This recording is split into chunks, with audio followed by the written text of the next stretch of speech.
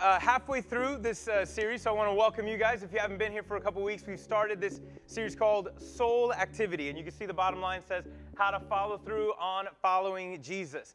And so the whole the, the point of it all, guys, we want to encourage all of us, whether you've been a believer in Jesus Christ for a long time, whether it's been a while and you're just trying to kind of make your way back, or maybe you're just kind of curious to see what it's all about, or you're just still young, you're still trying to figure this all out and kind of growing into this.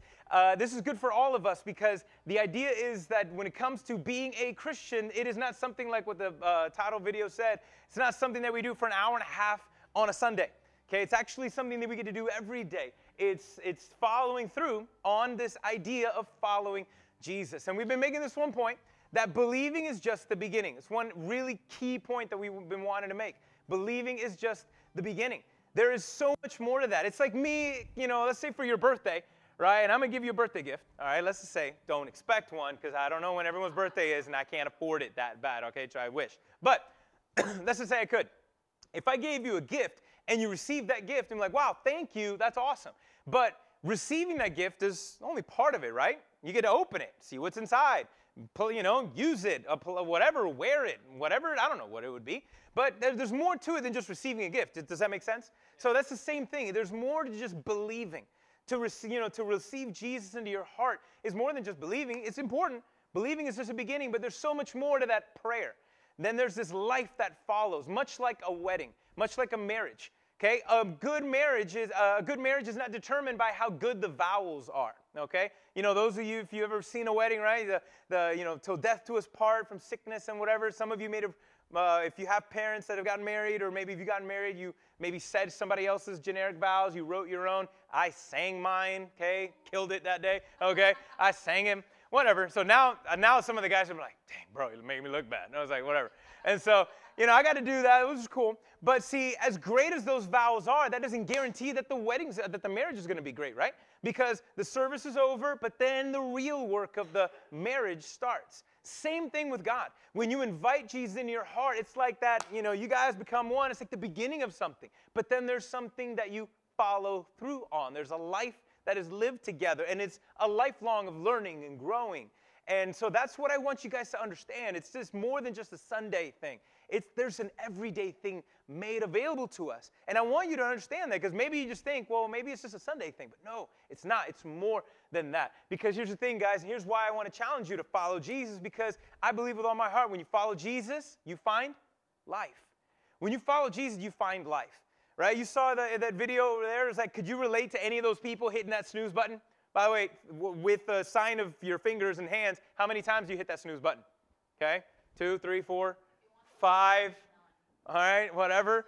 Some more than once, more than likely, more than once, right? And so we all have those, right? We all have those little habits because, you know, I want to sleep a little more. And for some of us, maybe it's a little hard to get up in the next day. I know for students, it's really hard for students to get up right now because you're just a couple weeks out. You've been burned out from all the tests and stuff. Who remembers, by the way? Some of y'all are like, no, I blocked that out, right? That's just done. That, that, that was a long time ago right? But some kids, right, they, they, they don't want to get up in the morning because they know, oh, I got to take another test or, oh, but, you know, you're excited because the summer's almost. Look, let me tell you, if the kids are excited, teachers are that much more excited. I know. I used to be, a, I've been 11 years teaching, nine years public and private schools, high school and middle school, two years at um, uh, homeschool co-ops. And look, this is what teachers look like before and after, at the beginning of the school year and after the school year.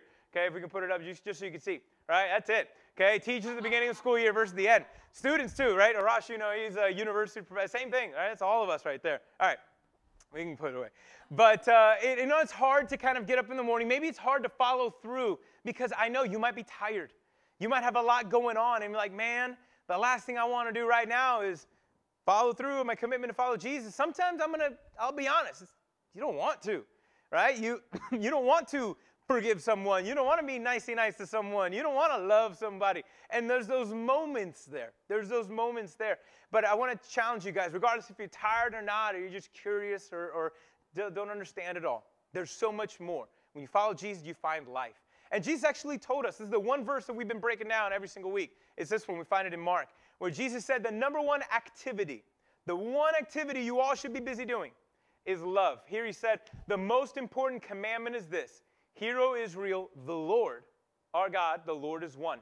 And you shall love the Lord with all your heart, with all your soul, with all your mind, with all your strength. And the second is this you shall love your neighbor as yourself. Now, all of that together, all of that together, loving the God with all your heart, soul, mind, and strength, and loving your neighbor, that's all one thing, okay? To love him with all your heart, soul, mind, and strength is to love him with everything of who you are. It is not just something that you do, again, on a weekend for like an hour and a half, okay? Or five minutes before your day starts, or those 30 seconds before you pray for your meal, okay? There's so much more. There's so much more. He says, look, you love, you follow Jesus with this key word, love. That's how you follow God. Love. Love has to be the motivation. Love has to be the key. It can't be an obligation. It has to be a decision, a willing decision. You don't have to, you get to, you want to, right? And so last week we talked about how do you love, well, first off, we started with the Lord. That's why we highlighted that. It's not just loving God, but I want to say this one word if you've never, we don't use it. To love the Lord is to recognize that, notice that He is, the Lord is one, meaning there is only one God. And God is, and the Lord is it. It's Jesus Christ, it's God Himself. There's only one God, and there is no one else like Him. That's when it says, uh, when He's describing it, there's no one else better, no one else that can compete, no one else that can compare. But also to, to declare that He is your Lord, there's a relationship there. Don't you notice? He is yours. Your Lord. There's a relationship. But when you call Him Lord, that means that He's calling the shots, not you. Okay? He calls the shots in your life. You look to Him as the one. When, when your marriage, the Lord should be calling the shots in your life, in your marriage. If you're not married, well, right now it's the Lord's calling the shots with your family, okay? And you with you specifically. He's the final decision. That's that idea. When you begin to grow and follow him as the Lord, not just some God that you believe in, but the Lord your God. And we talked about last week that you love him with all your heart. And your heart is your desires, your passions, right? You got to want to love him. Thank you. Okay. You got I think I, I drank way too much coffee today and not enough not enough water, so I'm all like dried out. And so you got to want to love him with all of your heart, which means you got to want to, right? That's the desires, your passion. Okay, you want to want you want to want to be with him and get to know him. All right, he doesn't want you to have to. He wants you to choose to. Right? It's a big decision. It's a big change right there. And today, though, we're going to focus on how to love the Lord your God with all your soul. Okay, and the soul. I mean, that is the core of who you are deep down, the real you, right? The stripped down version of you, not the, you know, superficial one, not the one that you have, you know, when you have the smile on your face when you don't have one behind that smile, right? And so the real, true you. The you that, that most people probably don't even know because we've gotten really good at putting up a, you know, outdoor version of you versus a true, true you. No, God says it, it, it, the best way to do it is to love Him with and being truly honest to the core of who you are. Okay? Just like we saw earlier with it's, it might be hard to do that. Um, you know, you might think it might be hard to follow Jesus every single day. But just like you saw earlier, you know, I know some people maybe they have a little bit of struggle with the Sunday through Saturday grind, right? To try to find that mean, you know, maybe Monday through Friday is a little pointless for you. Monday through Friday is just you just got to put it up, you know, you got to put up with it to get to the weekend, right? You live for the weekend and, and, and working for the weekend. And then you get that moment, those three weeks, right? Or three days, and then back at it all over again. But with Jesus, guys, He offers us meaning and life for every single day of the week. Not just Sunday, not just Sunday, not just Friday, not just whenever it is. No, He offers us meaning every single day of the week. And today we're going to talk about that. So we're going to how to love the Lord your God with all your soul we're going to talk about it like this is to love others more than yourself. Every day of the week, not just once a week. Now, can you tolerate that? Yeah. Can you tolerate that? Now, that might be like, yes, no, no, no. You guys know what the word even tolerate means, okay? Some of us, I think we do and we don't. To tolerate something, right? To tolerate something, if, you, if you're married, you know what the word tolerate means, right? Whatever. And so, but look, to tolerate, right, is this. If you don't know what the word means, to tolerate is to say, look, I can handle about this much before I snap, okay? We all do it. I don't care how old you are, I don't care how young you are, we all do it. We can, we can take up to here, but then after that, I was like, okay, enough, done. Like, for example, I can tolerate a little Justin Bieber, okay? I can tolerate it a little bit. There's just certain songs I can tolerate. There's just others I'm like, turn it off, shut it down. No, I was like, some I can tolerate, some I can't. I can tolerate hot dogs, okay? Meaning I can eat it, but after like my threshold is like two for whatever reason, by three, I'm, I'm, I'm to throw up. Okay, I don't know why. So I can tolerate about two hot dogs all right, before it gets a little too much. You know, even me, I'm a little more patient with my kids or just in general. So uh, I have a certain tolerance level with kids either, you know, being disrespectful or annoying or I don't know, whatever. I have a certain tolerance level. My wife says, if I'm here, my wife's like, like there, okay? And so it's fun. But, you know, I have certain tolerance levels with certain things. Does that, does that make sense with the idea of to tolerate means, right? It says, look, up to here, but then that's it. Now, it's for some things, it's good to have a high tolerance level. For some, this is a little hard. I'm like, man, I can tolerate being nice to people on Sunday, but come Monday, but if I haven't had my coffee, don't talk to me, right? Or whatever. And so it can be a little hard. It could be a little hard for some, but I want you to see, and, and I think we all can agree that um, the one thing that we should have zero tolerance for, okay? And that's, that's actually probably here at school, right? Zero tolerance means no excuse, okay? There's no, uh, you know, no mercy right here. We all, I think we all can agree that we all should have zero tolerance for people mistreating others. Would you agree? Like I say, yeah, that's, okay, I can't handle that. I can't see somebody talking bad about somebody, or I can't see someone mistreating someone else, okay? Zero tolerance, right? And that's, that's a good thing to have. We don't want just to be one of those observers and somebody is being mistreated or ignored or hurt, and we're just kind of like, not my business, right? And so, no, we should have zero tolerance towards people mistreating others. But especially, and this is the hard one that I'm to challenge you today, we should have zero tolerance for ourselves and how we, we treat and mistreat others. And so when we talk about today that, that God can, I mean, that we can love the Lord our God with all of our soul, one way you can do that with the core of who you are is to put others before yourself. All right? And be a king, and that's something that is hard to tolerate because there's a certain, you know, I can handle people to up to here, and then after that, myself come, you know, and it's it's it could be a little hard. Actually, today we're going to talk about something could be a little controversial, okay? Because there's no there's no clear-cut answer on this one, okay? And this is where people can have an issue with. And so we're going to talk about that, all right? Who's up for a little bit of controversy today? Okay, you all love a little controversy today? All right, let's see. First, let's go look at the Bible. This is what we're going to look at today. This is, uh, we're going to look at a Bible verse in 1 Corinthians chapter 10. And Paul is trying to help these Christians to clarify some things, all right? So let's read it. All things are lawful. He's quoting something that is typical in this uh, Corinthian city that they would always say. It was just like a, you know, like a slogan people would usually say, especially the Christians. All things are lawful, but not all things are helpful. All things are lawful, but not all things build up. Let no one seek his own good, but the good of his neighbor. Sounds a little bit like Jesus, right? To love others more than yourself.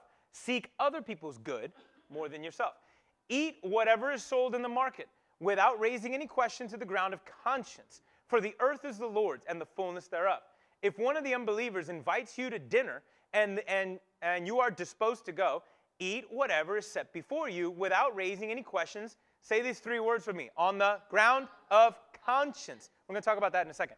Let's go to the next one. Um, on the ground of conscience. He continues on and he says, But if someone says to you, This meal, this meat, has been offered in sacrifices to an idol, then don't eat it for the sake of the one who informed you and for the sake of conscience.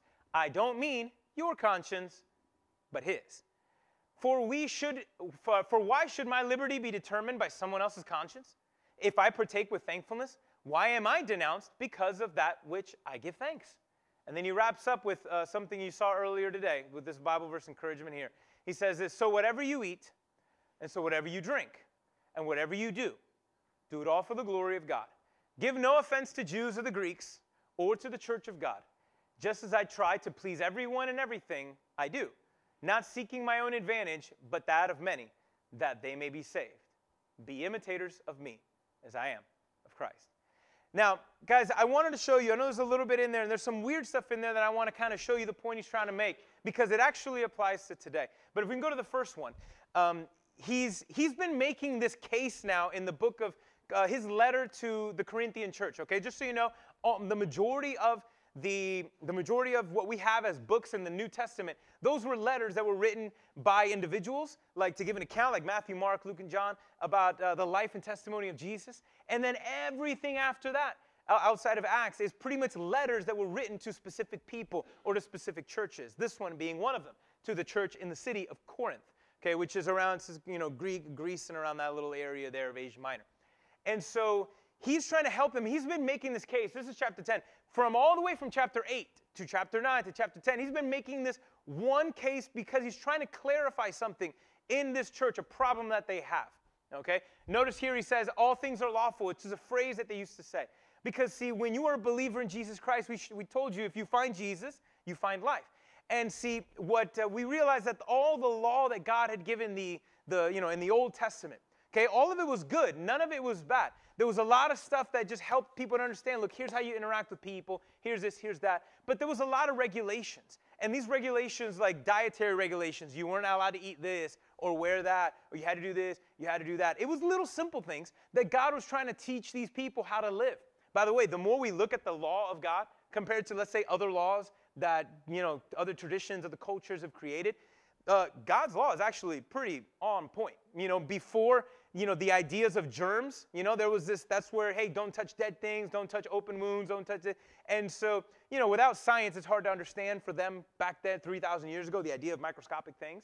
And so it's been really interesting. And, and even the diet that was created, you know, that in the law of God, this kosher kind of a diet, it's actually a really healthy one. It's pretty good. And so none of the things are bad. But now with Jesus, he's saying, hey, look, we have this new freedom. You don't have to worry about following every single rule because you can't okay? And so, like, you know, when it comes to what you're going to eat, what you're going to do, what you're going to do, there's you have more choices now. So I'm pretty sure some Jews, you know, their mind was blown when they had bacon for the first time, okay? And so that's pretty interesting. I would have loved to have been there. It would have been pretty cool. And so I'm like, I've been missing this this whole time. How glorious. Bacon. This is amazing. So, anyways, and so uh, with that, there was this debate because, see, the thing is, guys, he was saying, look, all things are lawful, meaning, hey, you guys got a lot more options on how to live. But not all things are helpful, not all things build up. Because here was this argument. They kept on going back and forth, and the key word that he was trying to make this whole three weeks or three chapters was on the ground of conscience. Okay? And if you don't know what if you don't know what the conscience is, guys, guess what? We all have one. You've all you don't have to understand it to uh, be able to use it. You all naturally do. Your conscience is your ability to pretty much decide right and wrong. For example, have you ever heard of a, a guilty conscience? Right? You ever had a guilty conscience? I'm pretty sure. If you don't know what I'm saying, it's like, have you ever done something wrong and immediately like, yeah, oh, what was I doing? And you felt bad, right? You said something, did something, and you just, inside, you just knew that that wasn't right or that wasn't a good thing. You know, we all have those. You know, and my my youngest, uh, no, one of my kids, uh, he has a problem with lying, and so and he's here's the thing, he's good at it. I mean, he'll look at you dead in the face and just straight out lie. And uh, my, my, my wife walked in on him. He did something like mess with this chart that he had, and she saw him do it. And he saw her see him do it, okay? And she still said, Did you do it without blinking? Nope. Okay? Without blinking. And I was like, I didn't do it. And so then she tried, she challenged him. She tried to like work on his conscience. And so she would do this. Was pretty genius. She said, Look, just so you know, I know every time you lie to me. Do you know how I know? Because when you lie, your ears turn red. Now, they didn't, okay? They didn't, his ears didn't turn red. But she just threw that out there. It's like, I'll always know when you're lying to me because your ears will turn red every time you lie. She walked away. The next time it came up with an issue of lying, she, uh, you know, he, did you make your bed this morning? Yes. Then why are your ears red? He goes, like he goes like this. His ears weren't red. She's just messing mind games, you know? She's just messing with him. But so he goes, why are your ears red? Are they? No. Oh, and so she's just messing around with him. But it was genius. So it's this idea of, you know, guilty conscience. When you do something wrong, you know, you feel bad, right? That's, that's the guilty conscience. But we all have a conscience when it comes to right and wrong. You know, it's like, hey, is this, you know, what is right, what is wrong? And your conscience is, guys, is a part of your soul. It's the core, deep down, your convictions on how you see things. You know, here in America, guys, I want to tell you something about, about especially our culture. No other country in the world outside of outside of the, the Jews highlighted and, and amplified the idea of conscience than more than any other. I mean, it was so foundational. Like when, if you would go back in the day to our founding and our founding era, they would speak of the ground of conscience more than anything. You know, saying, look, we ought not to be. For-. I mean, that's why the pilgrims came here because they were not just told, hey, don't worship God like that. No, they were forced to through manipulation, through um, oh my gosh, what's the word uh, when they mutilate you through mutilation? Okay, they would sometimes, you know, if, if you're not worshiping the way we tell you to worship, we cut off your ears, cut off your noses, or whatever. We torture you, and they would. They would rob them. They would take their money and this and that to force them to worship God in the way that they determine instead of being free. to be able to worship God in their own way like that. And so that's why the pilgrims came for that idea and for and to be able to establish themselves because they wanted to go back and make things better. But instead, they uh, made something pretty awesome here, along with many others. But guys, I want you to understand that the ground of conscience was so important here in America. You guys know that we enshrined it in the Constitution, in the Bill of Rights. Because guess what? If, if you, hopefully, you history, if you know anything about history, you ought to know our first Bill of Right. We have the right to freedom of speech, freedom of religion, freedom of the press. We can write anything, freedom of association. I think I missed one. Okay, I don't know, one of those two, right? And so, what are all those freedoms? Did I miss one? Which one? Thank you. Okay, there you go. Freedom of so freedom of assembly, freedom of speech, freedom of religion, freedom of the press. All of those, you know, those are all in Bill of Right number one. And you know what all of those are an example of? It is the right of conscience. Like if you believe in something, you can say it. You, can, you ought to have the freedom to be able to say it. If you believe in something, you ought to have the freedom to write about it and to declare and declare. If, if you believe in something, you ought to have the right to meet with other people who believe the same thing. You can. You know, that, that was the idea. You have the freedom to do these things. Now, you, don't, you didn't back then have the freedom to do whatever you wanted because even Thomas Jefferson said it really clearly look, as long as it doesn't break my leg or pick my pocket, I'm okay. Does that make sense? Like, look, you can believe whatever you want as long as your belief doesn't allow you to come steal from me or hurt me. No, no. See, that right there, you are exercising your freedoms to take away mine. You know, you're exercising your right to take away my rights. That is where the line doesn't cross. You can't impose. Okay? But you know, guys, know that's a Christian idea? There, that was, that's a Christian idea that, that, was in, that was introduced and for the first time enshrined in the foundation of a country. That's why we have what we have here. It's why in such a short amount of time, you know, because we've had this freedom to argue, freedom to debate, freedom to discuss, freedom to explore, freedom to question, we were able to find so many things and develop so quickly over time. Even, the, you know, it's crazy that all of our universities were, all, by the way, all Christian universities. And they didn't force people. They were all Christian universities, but they didn't force you to believe in things. They didn't force you to believe in what they believed in. You could have disagreed. You could have argued against and that was fine. We were up for it. Okay, let's go because in that in that conversation, in when we challenge each other, we grow stronger. But how ironic that 200 something years later, the same institutions in America that have fostered freedom, the freedom of conscience, has now flipped on its head. And now those same Christian universities which champion conscience and freedom of thought aren't like that anymore. Where it's like they, oh, it's, it's the complete opposite. We've come full circle. Where now, oh, if you don't believe in the right things we say so, then okay, we you can't work here, okay? You can't you can't interact here, you can't assemble here, you can't, you know, if you're gonna now we see everybody when they come and and gonna give a speech. Oh, if you disagree with the person who's giving a speech, then let's take his right away to speak. And that's that's dangerous. You don't want that to happen on either side. Just because you disagree with someone doesn't mean that you can have the right to remove their right to speak. Because if you can do that to them, can't they do that for you? And who would want that? And so that, we're having a little bit of an issue, especially here right now with our conscience. There's so many things that we're dealing with, but it was, it was an important thing, and it still is. But here's these two quick points I want to help you make, because I think what Paul's trying to say here. The one is this you have the right to do what you want, but it doesn't mean that what you want to do is going to always be right. Okay? That's kind of the one point he's trying to make here. You have the right to do what you want to a certain extent, but it doesn't mean that what you want to do is always going to be right. And that's where you say, look, all things are lawful, not all things are helpful. Let no one seek, here's the key though, let no one seek his own good, but the good of others. Again, it's coming back to looping to love.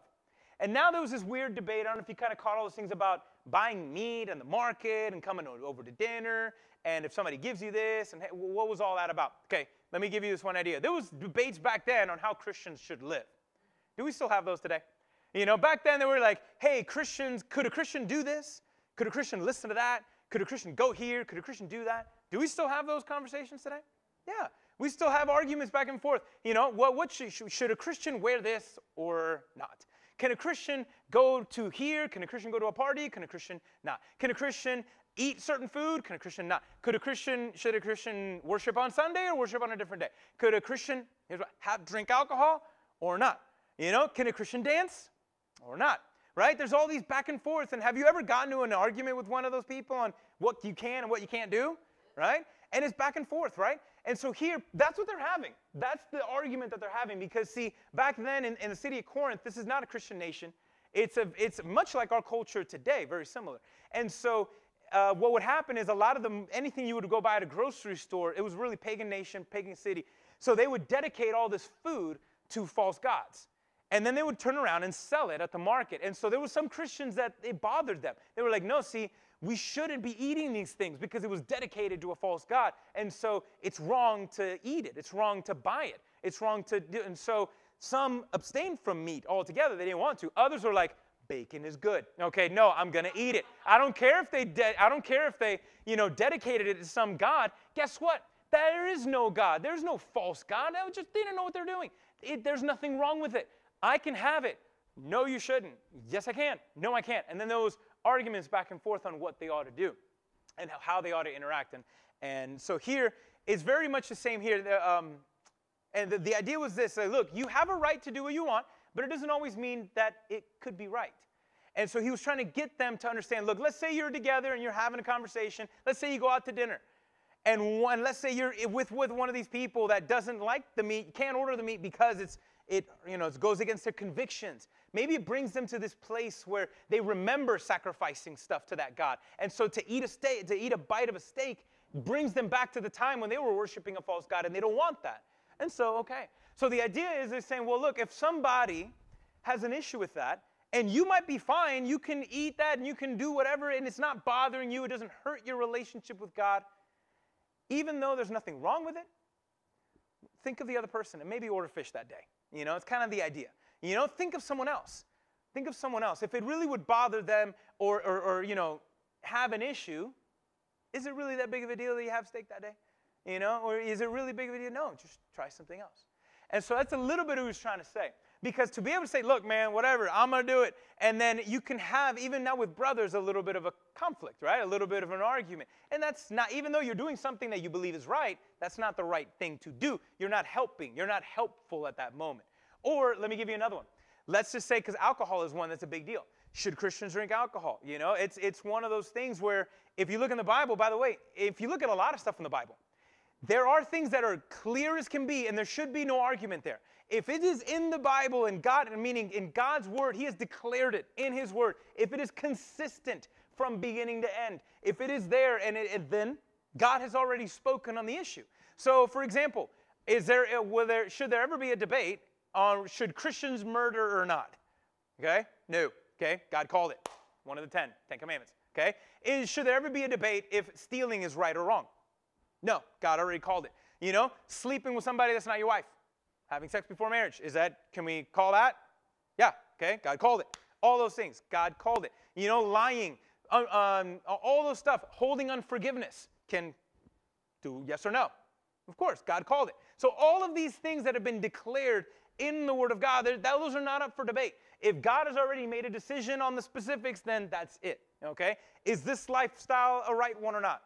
No. Okay? That's one of the things. That's, that's why for, for some I know it's hard even with the idea with uh, you know our culture today with uh, with life choices and and you know now with the ideas of uh, just being gender fluid right or, or or all that other stuff and and when you have this ideas of homosexuality and feelings like look God called it man and woman he created man and woman that's how it is and so God made the decision don't shoot the messenger okay kind of whatever kind of a thing he called it He's made a choice. He's made a decision. He's declared what it is. Homosexuality, the same thing. He's declared it. And so when you say those things, see, God has declared. But what else?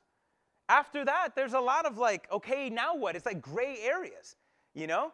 By the way, on alcohol, what has God called it? Yep. He's, it's clear, and this is all we know. Getting drunk's not a good thing, okay? Don't do it, okay? That's right there. Getting drunk is, but then guess what's not in the Bible? If you have a sip or two or not, it's not there. And so now what do you do? Because some people have a certain uh, over here, and some people are like, mm, well, hey, whatever, okay? And so it's, it's in the middle there. And so guess what you do? And this is what Paul is saying. If it is not clear, you default. Here's the default decision. If it's not clear, love. Thinking of someone else.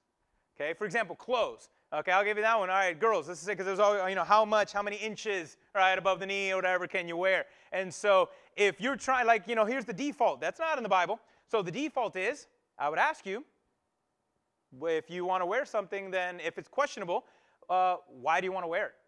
You want to, you know, because Eh, you know, to get the attention of someone else. Okay, maybe that's not the right, maybe that's not the best thing to do. Or you, you see, you know, little things like that. It's where's the motivation behind it? What's your motivation behind certain things? Same thing with with the other. Like, do you want to have a drink or just does the drink have you?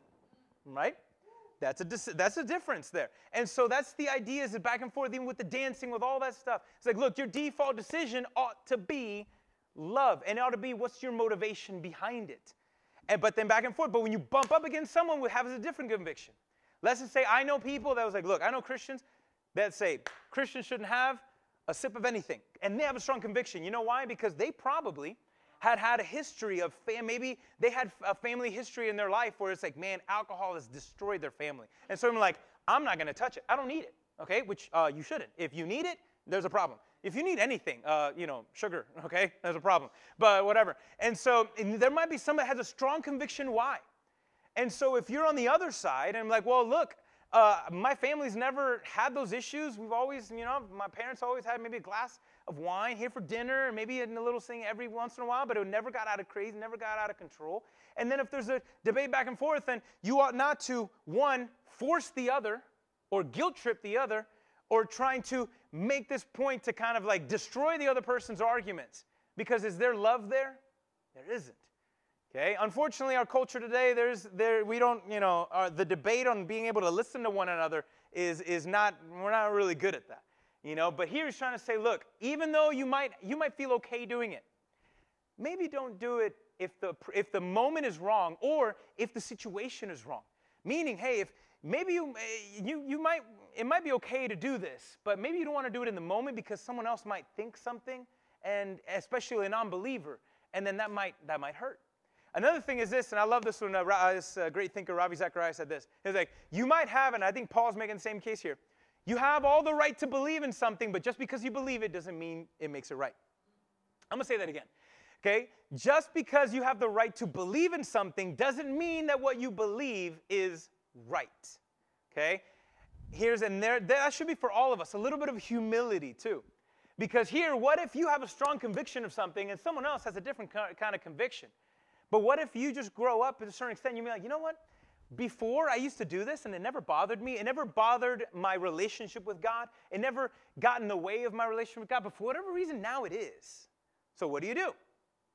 Well, now you don't do it, right? Then you cut it. Why? Because you do it for you, but you do it for God.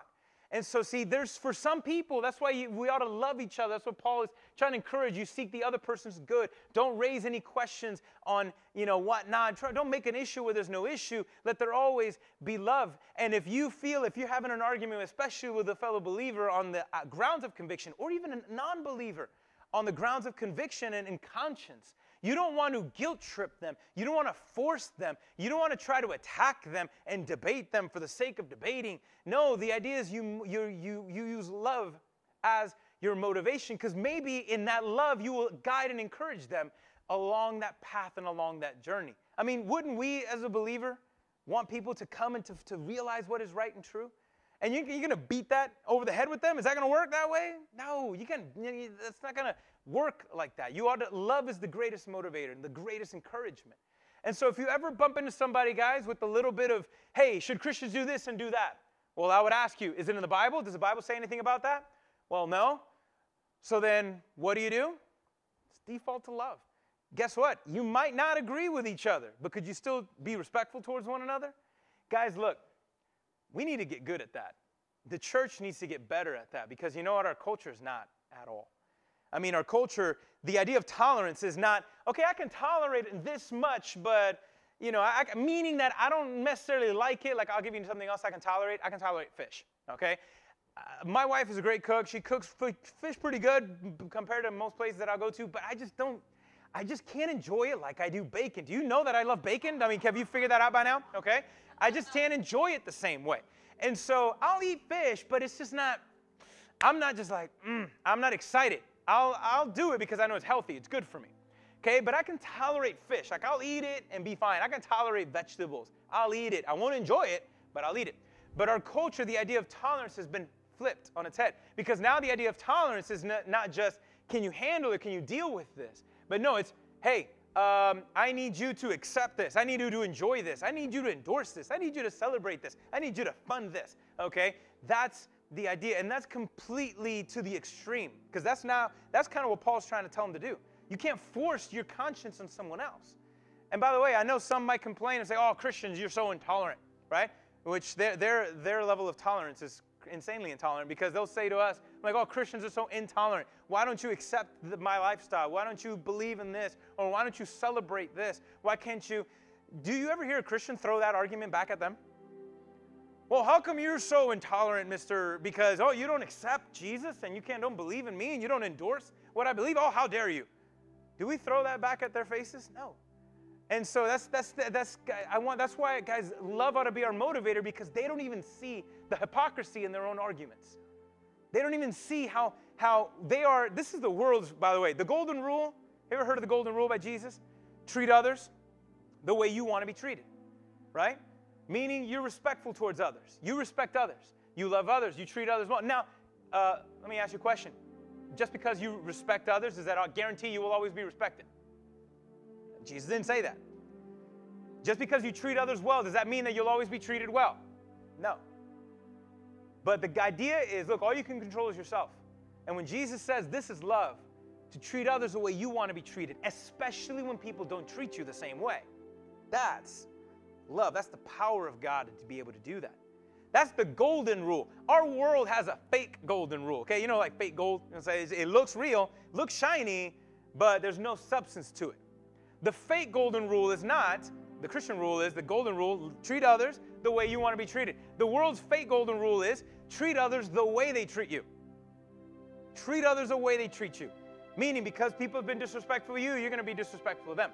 Meaning, if people mistreat you, you're going to mistreat them. People cheat on you, you're going to cheat on them. People lie to you, you're going to lie to them. That's the fake golden rule. And there's no substance there. Guys, and, and, and I love the way this one pastor put it. Why would you want to get even with someone that you don't even like? Why would you want to get even with someone? Waste energy, waste focus, waste your life on trying to get even with someone that you don't even like, that you don't even want to be with, that you don't even want in your life. Why that effort wasted? Now, there's no effort wasted when you love others the way that you would want them to treat you. You know, you can make a difference in that way. And that's what Paul's trying to say. And for us guys, when it comes to our soul activity, how do we follow Jesus? Well, let me give you a default because it's all not all clear, is it? There's a lot of vague stuff. Can a, can a Jesus follower eat this? Can a Jesus follower drink that? Can a Jesus follower go here? Can a Jesus follower do that? Do this? And you're going to bump into people who have different views and opinions on that. Some versus the things that God has declared, others that are kind of gray. And what happens when you do? You ought to always default to love.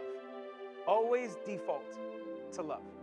Regardless, of, okay, you might disagree with that, or okay, hey, but can we still treat one another well? Can we can we still agree and disagree, but really mean it? Not one of those, okay, let's agree to disagree. Okay, and that's okay, you now you're just being rude and sarcastic, okay? No, no, but truly, like I can, I and and and I this really meant a lot to me because I had some family and friends um, that their lifestyle choices aren't, they know I don't agree with. They know that I, as a believer, as a pastor, uh, I would say God uh, has not given an okay on that.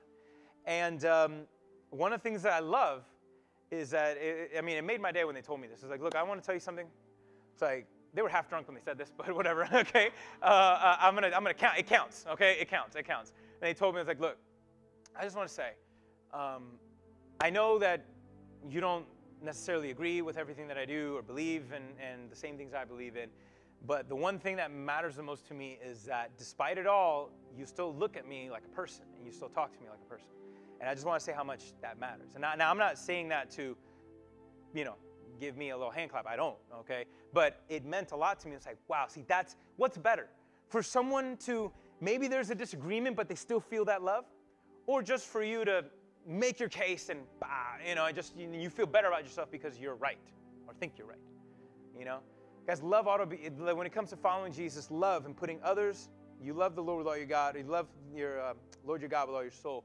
When you put others before yourself, that makes a difference. That that adds meaning to every single day of your life, regardless when you're tired, regardless if you're exhausted, regardless if you enjoy your work or not. But when you put others first, that adds meaning to everything because there's love there, and the love of God gives you purpose. And so everything you do, he actually noticed, he said at the very end, so look, whatever you do, this is what you decide on. Whatever you do, even if you eat, whatever you drink, do it for God's glory. Guess who you're not doing it for? You're not doing it for yourself. Okay, I know, hey kids, let me tell you right now, some of you, you might, maybe there's certain things that you might do, and your parents will be like, you to them are like, I don't see anything wrong with this. There's nothing wrong with playing this game. There's nothing wrong with me doing that. There's nothing wrong with me uh, eating this. There's nothing wrong with me drinking this. There's nothing wrong with me going here. You might have that idea. And let's say you're right. Let's just give you, I'm going to give it to you. Let's say, okay, let's say, yeah, you're probably right. There's nothing wrong with what you're doing. to that specific thing. But if, if your parents say, look, but I, I know, but for me it is, and I don't want you to do it. The default, you put others before yours. And that might be a small sacrifice. You may be like, ugh, gotta be kidding. But I'm telling you, your life's gonna be a whole lot better. Your, your, your relationship, your life, you're gonna be, you're not gonna miss out on anything. You're gonna have more meaning. And that, guys, that goes for all of us. That goes for all of us when we do those things. If you don't see and you don't understand or, or whatever it is, if you do it not for your glory, that's what, hey, well, can a Christian have, you know, take certain substances, right? Alcoholic, drugs, and this and that. Okay, well, are you doing it for his glory or yours? Are you doing it for your own? Are you trying to get something and you're trying to replace God with that? Then uh, that's a problem. For sure, that's a problem right there. If you if you run to something else other than God consistently, that's a problem. And that could be as simple as TV and entertainment, and your phone, by the way. If you're quick to answer your notifications more than you are answering God's impressions on your heart, okay, you, you have, God has competition for your attention. And so there's more to it than that. And here he says, so honestly, he says, whatever you do, do it for the glory of God. And so I'm going to rephrase that. Say, everything you do, I want you to see it this way as an opportunity to showcase what God has done. Everything you do is an opportunity to showcase what God has done. And why did Paul say, why should we live like this? Why should my freedom be dictated by someone's conscience? Why should my liberty to choose and enjoy and to be thankful for certain things, why ought that be second to someone else's opinion. Why? Because he said, so hopefully people will get saved. You know, he said this one idea too. He says, Look, I'm going to try to please everybody. I try and please everybody. Have you ever heard of someone say, You can never please everyone? Is that true? Yes. So why is Paul saying, My goal is to please everyone, knowing that's impossible? Just because it's impossible doesn't mean that he's not going to try. And that's his goal. He's like, Look, I know it's impossible, but I'm going to do it anyways because that's the right thing to do. That's my conviction. I'd rather give up something that's not that big of a deal. And maybe to me, I can do it. I can drink this. I can go here. I can do that. And it doesn't affect my relationship with God. But if it can help, if I can give this up so that someone can find life, that's a worthy trade. That's a worthy trade. And uh, speaking of, there's a movie some, uh, some have arguments, hey, should Christians go to movies? Should Christians see a rated R movie? Okay, I saw a rated R movie. Okay, um, now I'm not telling you you can or not, it's your convictions. But I saw one um, called uh, Hacksaw Ridge. Some of you guys might have seen it, some of you guys might have not. Hacksaw Ridge is a story made by Mel Gibson. And Mel Gibson kind of broke some rules because someone say, wait, should Christians, should Christian directors put on R-rated movies? And some, well, Depends on the motivation. Depends on are you what you're trying to build up. Are you just trying to glorify gore and guts for the glory of it all, or for some other purpose? And Mel Gibson pushed the limits. I mean, this is a very gory movie. If, if you don't have the stomach for blood and literally guts and intestines all flying around, guarantee you, I try not to watch it. It's really intense. But I watched it because it was a story of a man named Private Doss. And see, Doss, the whole movie was about conscience. The whole movie was about conviction. And see, Private Doss lived back during World War II. And he had, he was, had a strong conviction. I want to serve in the military. And he saw his father had served in World War I and the damaging effects that it had done mentally, emotionally on him. He saw what it was like, but he had a strong conviction I have to serve. For me to stay home is wrong. Okay? I can't do that. But I, I choose to. You know, here in America, we have a rule that if you feel strongly, you know, I do not, because of religious purposes, I cannot serve in the army. Do you know that we can't force you to do that here? We can't. But for him, that's a different conviction. But his conviction was, I can't stay, I need to go. And so he went. But thing is that he also had another conviction. He didn't want to touch a gun. That's another argument. Should Christians carry firearms or not, right? Should they? Should they not? Should they own a gun at the home? Should they not? Is that trusting? Is that showing lack of faith in God by having a gun? Whatever. Hey, if you don't, if you have different convictions, That's, you know, if you don't like guns and you have a Christian friend that does, agree to disagree. But hopefully something goes down. Be grateful if he's near, okay? Because at least he's packing, all right, and he can help you. But anyways, um, the idea was he had a strong conviction. I can't touch a gun. Now I'm not going to give this away, but in the movie it reveals a traumatic moment in his life when from there from then on out he made a decision. I'm never going to touch a gun again. So there's a reason. So, guys, be, be patient and, and, be, and loving with others because you don't know where those convictions have come from. You don't know what they have gone through that has made them choose to live like this. So, be, be gracious. So, he made a strong conviction I'm not going to touch a gun.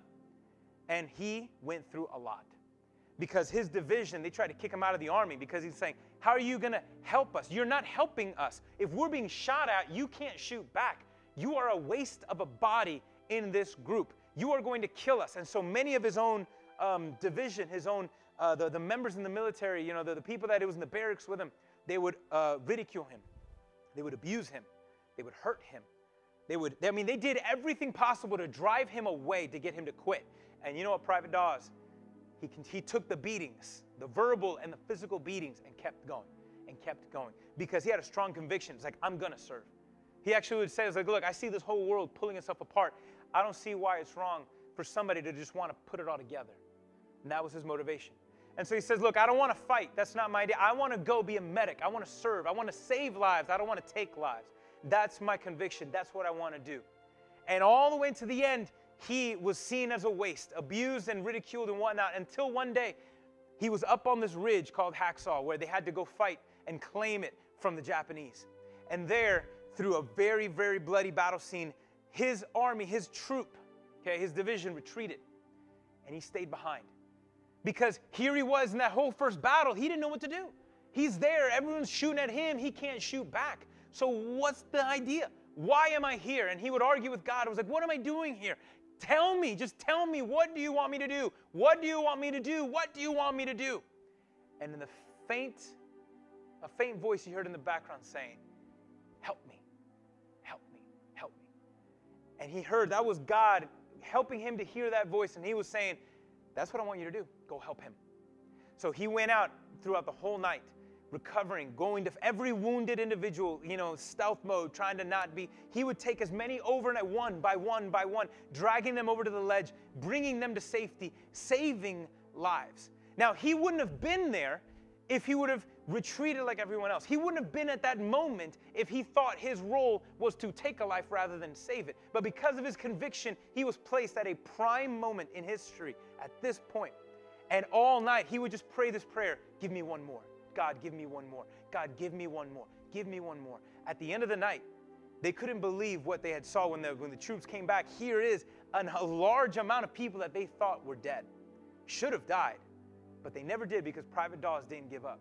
He brought them, and you know what? There was even uh, wounded Japanese soldiers. The enemy, he even saved them as well and brought them down. And in the end, before, when they thought this guy was a waste of space, a waste of breath, a waste of a uniform, because of his convictions, because he was willing to lay down his life and to do what he believed was right, he saved a lot of lives because he did those things. And now there's a lot of people today, a lot of great great grandbabies that are still that are alive today because one man chose to put others before himself and to do the right thing even though everyone told him he was wrong. Everyone told him he was stupid for not wanting to carry a weapon and carry a gun. But he knew it was the right thing to do because that's what the Holy Spirit had put a conviction on his heart to do. That is an example of doing the right thing. Just like Paul was saying, and give gave meaning to a, mo- a pointless moment and gave meaning to it. And many, many people, many people found new life and have a future and a hope today because he put others first. And guys, that's that's the motivation. That's why I'm saying, why would we give up something that maybe I can do this and it doesn't bother me? You know, if, as long as it's not robbing time from you or causing you to not follow Jesus or live like Jesus, if something is causing you to act like and talk like a demon rather than Jesus, then yeah, you need, you need to chill out with that. Okay? If it's not building you up, then it's not. You're wasting space. But besides that, why should you give up all these things, even things that are okay, so that God can do something great? so that God can do something amazing. I mean, again, guys, our culture is really good at ripping itself apart. Would you agree with me that wouldn't it be nice if there was some people that were willing to put it together and be willing to kind of put more of it back together again? Guys, could the church be that? Could our church be that? If we can focus on getting past, even though, look, I don't have to accept you, I don't have to accept that lifestyle, but I can still eat dinner with you, I can still talk to you like a person, I can still treat you with love and respect regardless. Do you think that the world, do you think the world, our community would be a better place if we had more of us being willing to put it back together again? I think it would. And by doing that, that gives other people, guys, a picture of Jesus. Because what did Paul end up saying? Hey, copy me, be an imitator of me like I am trying to imitate. Did you catch that? Jesus. Imitate me. Be like this, because guess who I'm trying to be like? Jesus. Now, let me ask you did Jesus ever surrender his rights or his ability to do something that was okay and right to do? Did he ever, is there ever a circumstance in history that we can look back that he gave up his rights in order for someone else to be saved? He did. See, Jesus, if anyone, ha- if, if anyone had the right to be comfortable, was him. But he gave up the right to be in heaven, to come down to earth. Jesus gave up the right as the king of the universe, he gave up his rights in order to be born in a feeding trough. Okay? He gave up every right that he had to honor and respect and love to come here to be mistreated and abused and ridiculed and even murdered. Jesus gave up every right possible, even things that were okay. He didn't pursue a family because he had a mission, he had a purpose. There was nothing wrong with getting married and having a family, but he chose not to do it for a greater purpose. He chose not to do a lot of things for, for a greater purpose, and that purpose was you and me. He gave up every single right so that you and I could be saved. And for me, if that's what it takes, then you know what? It's worth giving up certain things or not doing certain things or getting into an argument for what? Paul says, don't give an offense. And I'll end with this last this phrase here because when I think of when he said in this verse, can I actually show it up when he says, you know, so whatever you do, do all for the glory of God. Don't give an offense, not to Jews or Greek or whether it be cultural or anything else. When I when I, I read that word, um, he said this, uh, don't give offense. I thought of the word offense. It says give no offense. I thought of the word offense. See, offense, what's the purpose of offense in sports? They score points. Okay? What's the purpose of defense? Keep the offense from scoring points. That's how you win. But see, the idea with offense is here's the, we, we can't be consumed with with who's winning. Do you want to win an argument or do you want to win a person? Do you want to win an argument or do you want to win a person? That's what he's trying to say. It's like, look, don't, don't, let's just not try to keep score here. You know, God, God won. Game's over. Jesus won. So let's just love and help them to see and experience the same thing. And again, guys, we have a lot of, we have a lot in this world that's pulling it all together. I don't see why we can't have more of us be willing to put some of it back. Guys, I want to pray. Let's, let's wrap up. I want to encourage you today. God, I want to thank you so much, God, for, for your love and everything that you've done for us. God, um, I thank you that we were singing earlier today, like we just, you're just not good. You are too good to us.